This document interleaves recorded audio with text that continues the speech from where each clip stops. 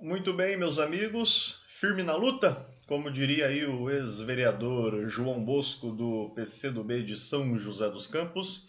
Bom, Estamos firmes aqui dentro do possível, trazendo para vocês notícias da semana no nosso Notícias Comentadas do podcast Mesa de Debates de Tudo Um Pouco. E vamos aí com algumas notas, com algumas pautas, alguns assuntos que a gente julgou merecer destaque aqui para essa semana.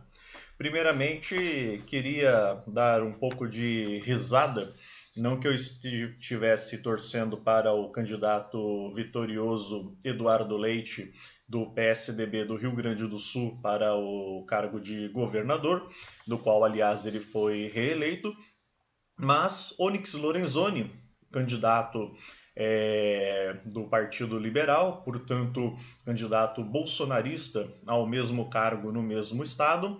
havia dito num debate que a melhor vacina é pegar a doença durante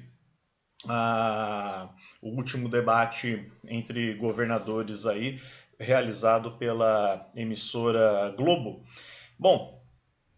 ele acaba fazendo um julgamento relativamente equivocado com relação ao que diz respeito a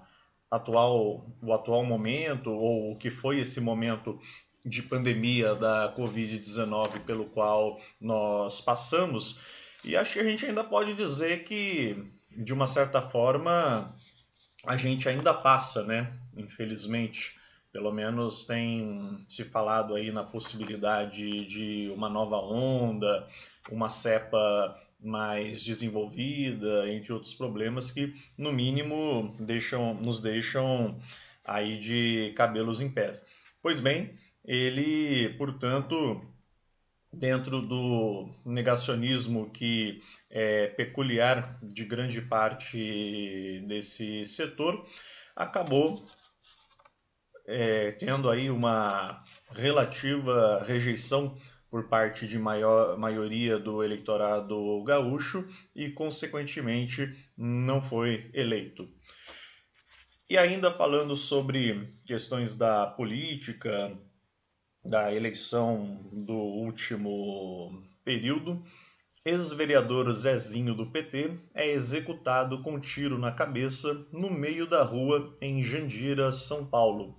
Mais uma cena de violência, de truculência aí, cobramos a devida investigação, também investigações aí contando com apoio da, dos movimentos sociais, dos direitos humanos e do próprio Partido dos Trabalhadores e todos aqueles envolvidos que devem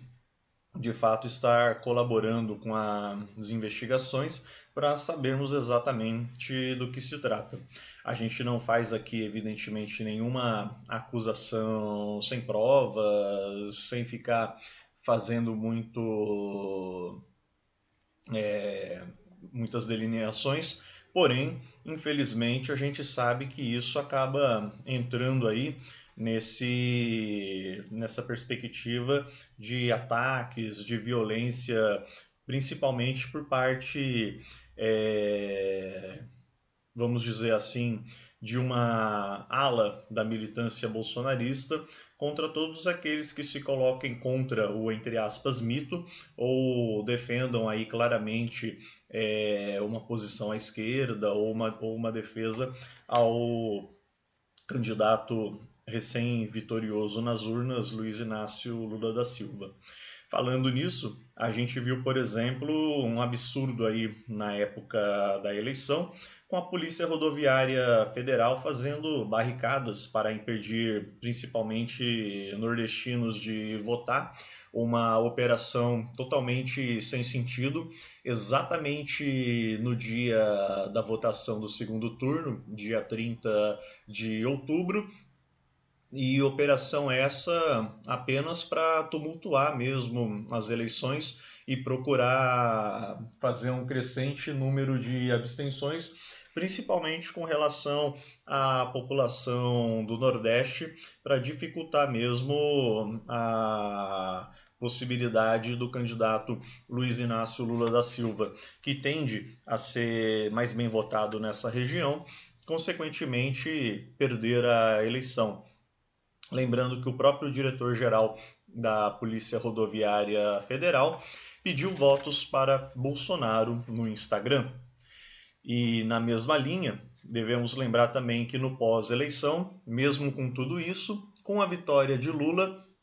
apesar de ter sido uma vitória bastante apertada, mas discussões como essa acho que nós já fizemos muito bem feitas no material dessa semana. Aliás, eu até sugiro que vocês acompanhem, acessem sempre o canal Muita coisa que eu falo aqui no Notícias Comentadas, vocês têm que ter em mente que é um resumão da ópera. É, eu sempre recomendo aqui que vocês assistam, acompanhem os debates, as entrevistas que a gente realiza ao longo da semana, porque lá é que está realmente o grosso da discussão, é que lá está, acho que realmente o que ilustra muito do pensamento dos entrevistados e até mesmo do nosso pensamento nas discussões que a gente traz e propõe aqui para o canal, que a gente propõe aqui para o debate não só, mas principalmente nacional. Bom, falando aí da questão da Polícia Rodoviária Federal, tivemos, aliás, estamos tendo, né, essa questão dos caminhoneiros paralisando as rodovias em protesto contra a eleição de Lula, com alguns cenários de confusão durante a semana. E, por outro lado, se os movimentos, partidos de esquerda, entre outros, não estão devidamente organizados e mobilizados contra essas ações, alguns movimentos, é, eu não diria movimentos sociais organizados, mas algumas ações sociais, é, algumas ações populares espontâneas, assim como ações de é, torcidas organizadas, como por exemplo do Atlético Mineiro, do Corinthians, do Palmeiras, entre outras aí que posso agora não estar me lembrando, acabaram fazendo várias, é, tomando várias medidas de confronto direto e expulsão, liberação de, se não toda, pelo menos grande parte das rodovias e botando vários dos bolsonaristas golpistas para correr. A questão que se levanta, aí vão querer falar do direito à manifestação e tudo mais. Uma coisa é um direito à manifestação quando se tem uma pauta, quando se tem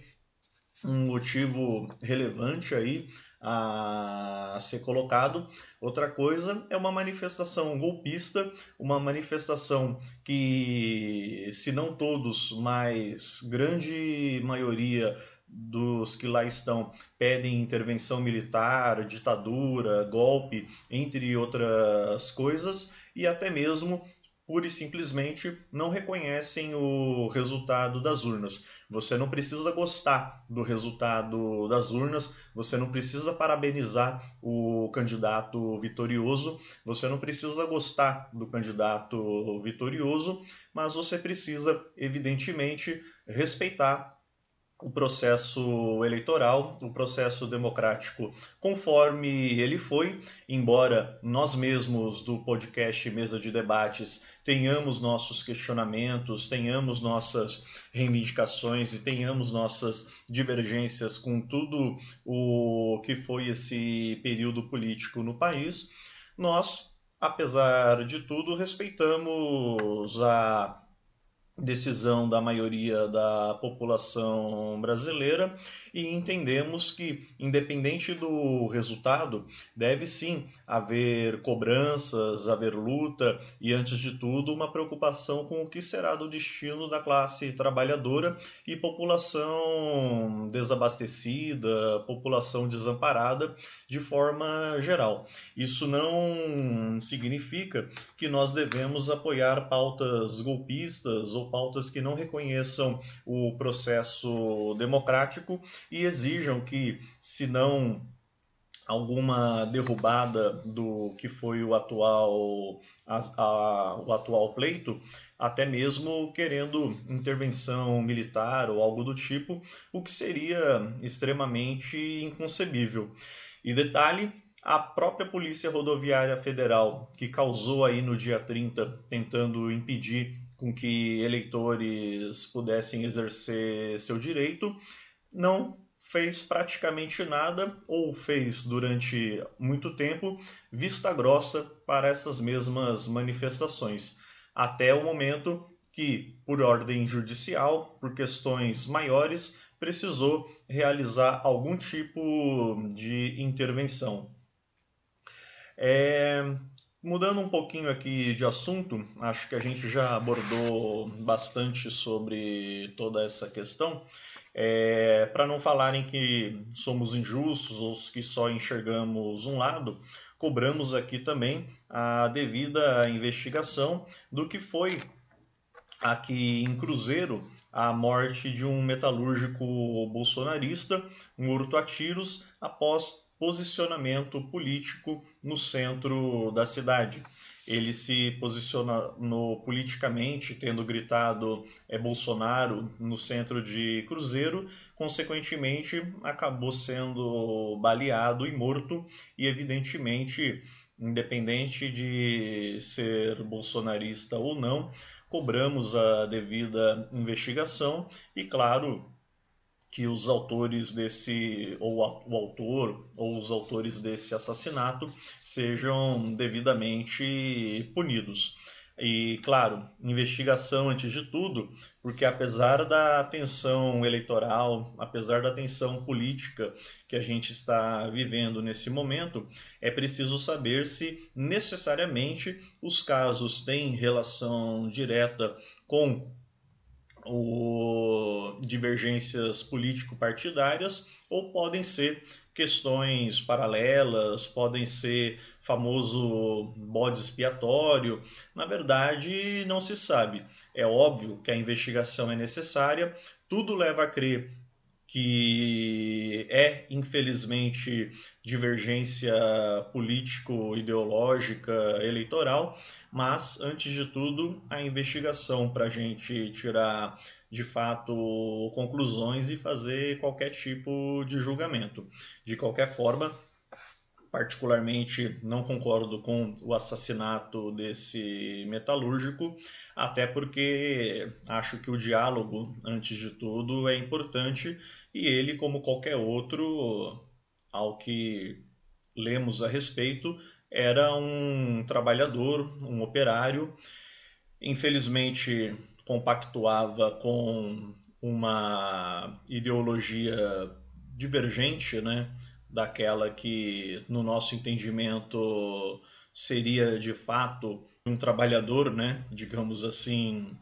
teoricamente deveria defender, mas ele não é um caso isolado, tanto é que milhões né? Mais de 50 milhões aí votaram em, aliás, quase 60 milhões, né? É, cinco, mais de 58 milhões votaram em Jair Messias Bolsonaro, então não é de se esperar grande coisa.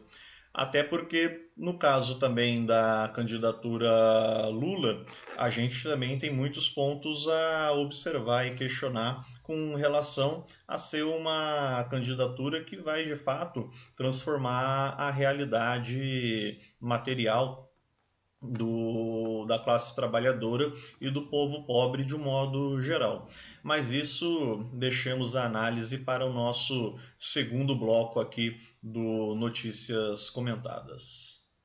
Bom, algo que chama a atenção é que, apesar das manifestações ao redor das rodovias brasileiras, ou pelo menos grande parte aí das rodovias, a gente viu também cenários um tanto quanto esquisitos e, para não dizer trágicos, engraçados, como uma manifestação em Brasília é, que prometia ser a maior já vista e acabou reunindo nada mais, nada menos do que 10 pessoas. Ao verem que não aparecia mais ninguém do que aquilo, a manifestação acabou dando uma dispersada, uma distanciada de onde estavam por conta da chuva e depois mudaram de endereço para mais ainda com as mesmas 10 pessoas, sem agregar simplesmente nada à chamada maior manifestação já vista. Infelizmente, ou felizmente, né, dependendo aí do ponto de vista, infelizmente para os organizadores defensores do presidente Jair Messias Bolsonaro, parece que isso pode indicar talvez é claro que é muito cedo da gente fazer qualquer afirmação dessa natureza, até porque em paralelo nós temos toda essa questão que está acontecendo aí na, nas rodovias, como aqui em São José dos Campos, na Dutra, por exemplo, mas talvez isso mostre, não sei, posso estar enganado, mas achei bastante curioso trazer esse detalhe um pequeno indício de um começo, né? De, reparem nas palavras cuidadosas que eu estou procurando usar, mas um pequeno indício de um começo de derretimento dessa força, desse ímpeto bolsonarista, como tantos prometiam. Não estou dizendo que o bolsonarismo acabou, que o bolsonarismo morreu, Creio que até pelo contrário. Mas quero ver o quanto eles ainda serão capazes de fazer barulho perto do que já tanto fizeram durante a eleição e até mesmo em momentos anteriores. Bem, saindo um pouco aí dos assuntos que já estávamos tratando, você deve estar ouvindo esse barulho de papel amassado. Eu fico rodeado de papel aqui comigo. Então, o ouvinte aí não se assuste não. Bom, vamos lá, né? Trazer aqui algumas questões no mínimo curiosas. A Lula venceu, a questão é essa, e agora hora de escolher aí os ministros, né? Temos alguns chutes, alguns palpites, algumas ideias para compor a nova esplanada dos ministérios. Lembrando que, além dos principais, ainda Lula cogita a criação de mais 10 é, ministérios aqui durante o governo dele. E a questão que fica, eu sinceramente pensando, é até onde a criação de um ministério puramente por ter um ministério realmente é benéfica ou não para aquela pauta, para aquela pasta, para aquilo que se quer discutir. Vide que no governo Dilma, por exemplo, nós tínhamos aí diversos ministérios, mas aparentemente não necessariamente aquilo realmente trazia é, benefícios mais concretos para realidade nacional. No caso do governo Lula, podemos dizer que os ministérios, de uma forma geral, funcionavam. Não vou entrar no mérito aqui de outras questões, mas a gente via a pujança e os temas, claro, cada um à sua forma, sendo relativamente tratados como deveriam. Infelizmente, porém, Agora nós temos uma outra perspectiva política, são outros nomes é, em questão, e inclusive alguns parceiros novos que podem é, causar estranheza a alguns ouvintes ou alguns dos que nos acompanham e vamos comentar um pouquinho por alto as questões aqui colocadas. Segundo matéria da CNN, a nova esplanada dos ministérios talvez seja composta aí na Casa Civil por Rui Costa, ex-governador da Bahia, ou Wellington Dias, ex-governador do Piauí, ambos petistas, porque, claro, a Casa Civil vai querer exatamente ter aí alguém do PT, alguém diretamente da linha de frente petista, para comandar a Casa Civil e fazer toda a organização dos ministérios e também o relacionamento com o Congresso, que é de extrema importância, ainda mais no atual período que Lula é, assumirá a partir de 2023. Deve-se destacar que, embora ex-governadores e, claro, tendo que cumprir papéis burocráticos como tal, principalmente o Wellington Dias é, figurou aí um importante destaque como líder dos governadores, é, principalmente durante o período da pandemia, no governo de Jair Bolsonaro, e esteve diversas vezes à frente, seja nas reivindicações de uma forma geral que os estados faziam à federação, assim como uma tentativa de diálogo, entre outras é, possíveis ações mais concretas para buscar resoluções para os estados, não só com relação à pandemia, mas também econômicas e tudo mais. Rui Costa foi um governador da Bahia que, aliás, fez o seu sucessor e foi sucessor de Jacques Wagner,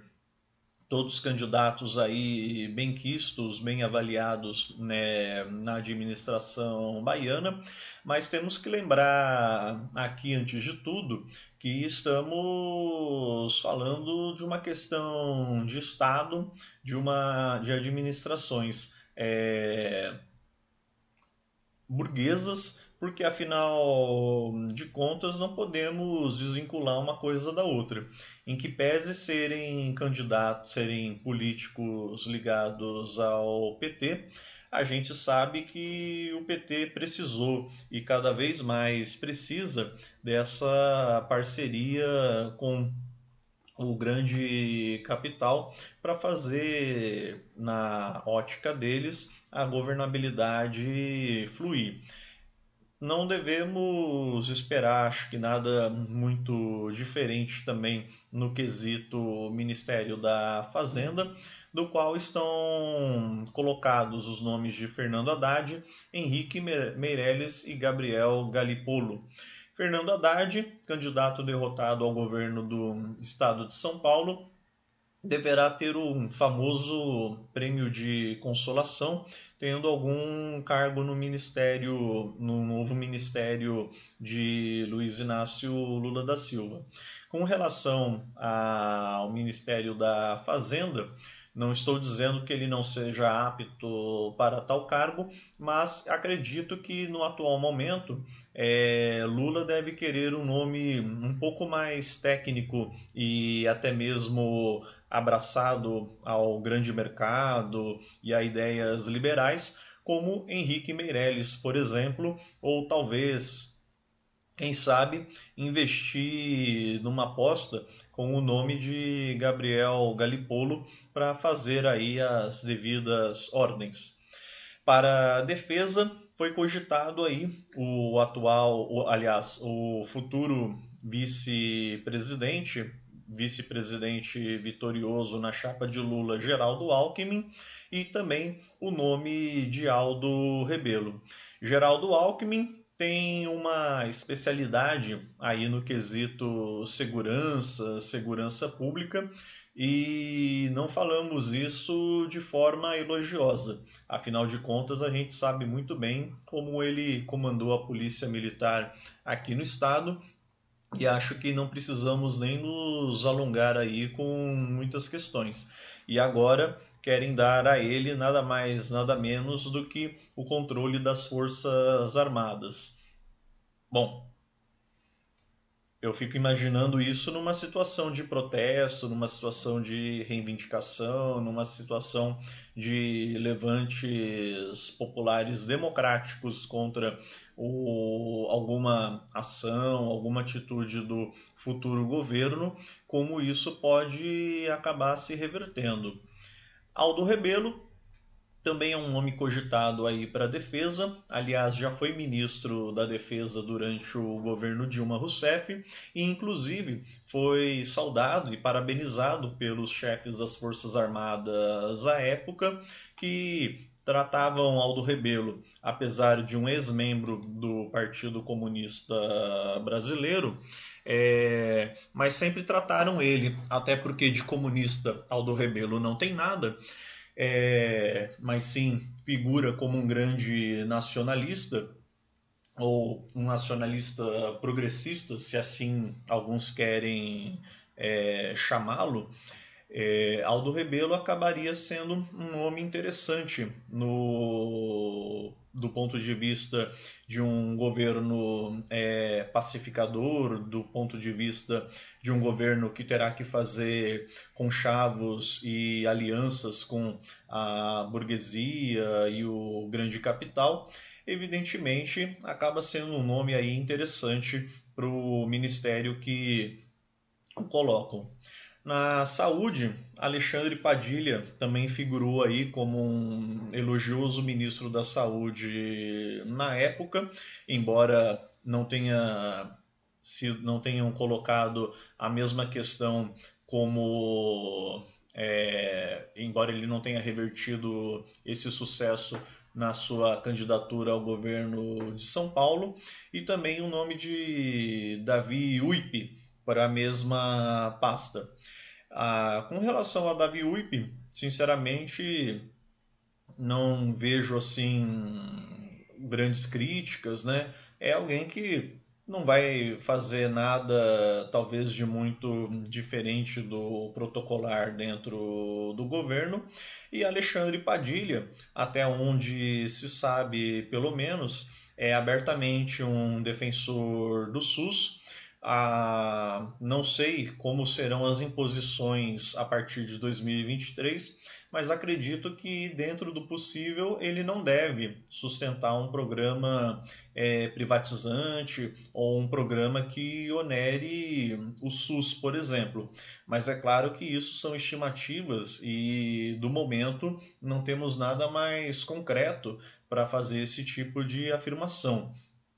A mesma coisa na educação. Temos Camilo Santana, que, segundo ideias, não deve também é, procurar meios para, para é, privatizar ou mesmo prejudicar a educação, porém, são questões aí que devem sempre ser colocadas, pois não sabemos a rigor quais interesses por trás e como, afinal de contas, será administrado a questão do Ministério da Educação no governo Lula, que, aliás, não tem tanta intenção, porém a ex-candidata a presidente Simone Tebet já se manifestou interessada pela pasta da educação. O grande porquê? Bom,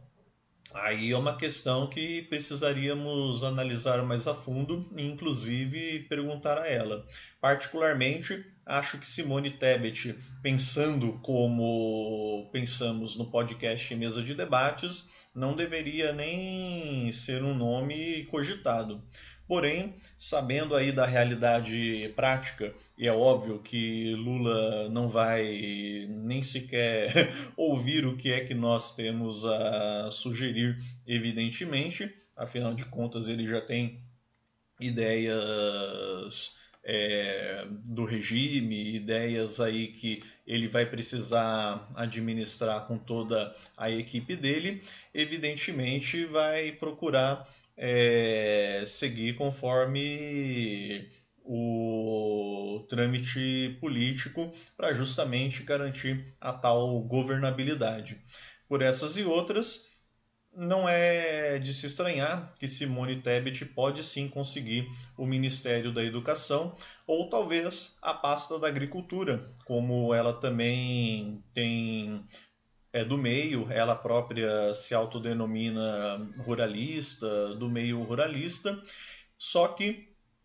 Assim como ela, Cátia Abreu e Carlos Fávaro também entrariam nessa relação, mostrando aí uma, um Ministério da Agricultura fortemente vinculado aos interesses do agronegócio. Lula já disse várias vezes que não é um inimigo do agronegócio, mas sim do agronegócio vilão, do agronegócio desmatador, do agronegócio é, genocida, do agronegócio que busca apenas o lucro pelo lucro, sem preocupação com a natureza.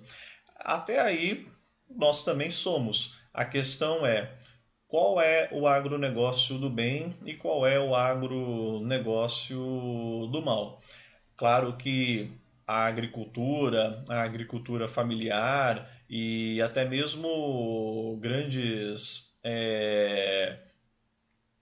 empresas, chamemos assim, é, do ramo da agricultura devem sim fazer o trabalho deles econômico, o trabalho deles de desenvolvimento e o trabalho deles com relação principalmente à alimentação da população brasileira, mas sabemos infelizmente que grande parte do agronegócio brasileiro também acaba sendo fortemente envolvido com ideias e práticas bolsonaristas e, consequentemente, também interesses de exportação e pouco interessados de fato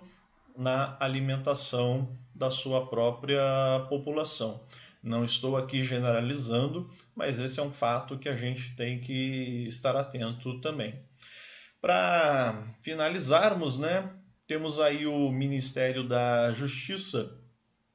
que existe a cogitação de entregar para Silvio Almeida ou então até mesmo para Flávio Dino. Flávio Dino, que foi recentemente eleito senador pelo estado do Maranhão, conseguiu fazer o seu sucessor e mostra-se um grande aliado, não de hoje, mas ao, peti, ao lulopetismo, e agora, claro, quer alçar voo, voos maiores. Como ministro da Justiça, é importante destacar que Flávio Dino tem conhecimento, tem é, entendimento técnico. Agora, como será de fato enquanto ministro, é uma discussão a ser pensada. Até porque todos os nomes aqui colocados, a gente tem que lembrar antes de tudo que, independente da história, da biografia e da especialização técnica de cada um, todos terão que cumprir o establishment, né? Aquela palavra bonita e que diz muita coisa em pouca, é, numa palavra só, né? Finalizando no meio ambiente, Randolph Rodrigues da Rede e também Marina Silva da Rede um é, senador e outra deputada federal agora recém-eleita é, para poderem comandar a pasta. Marina Silva, que já foi ministra do Meio Ambiente no primeiro governo Lula e inclusive pediu demissão ao não concordar com várias práticas, com várias pautas que o governo petista queria é, avançar com relação ao meio ambiente ou melhor dizendo, a potencial destruição desse, e Randolph Rodrigues, que, apesar de ser do partido Rede Sustentabilidade, tal pauta não é exatamente das mais favoritas do candidato, embora ele do político, embora ele também trate evidentemente desse tema. Não sei Randolph Rodrigues propriamente como um ministro do meio ambiente, como seria e quais as qualificações técnicas dele propriamente para essa pasta. Marina Silva já seria um nome mais interessante, porém a questão que fica é: será que podemos ver a história sendo repetida novamente como tragédia ou como farsa? Questões aí que a gente deixa para o ouvinte pensar, debater e, claro, fiquem à vontade também para comentar aqui com a gente. Muito obrigado aí pela audiência de sempre. Um bom dia e tchau.